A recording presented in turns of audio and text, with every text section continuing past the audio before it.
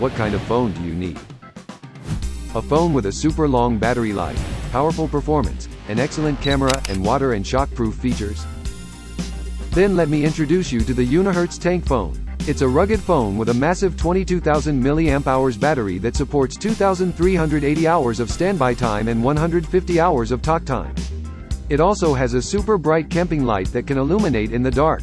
Charges to 90% in just 1.8 hours. It has three rear cameras, a 108 megapixels main camera, a 20 megapixels night vision camera, and a 2 megapixels macro camera.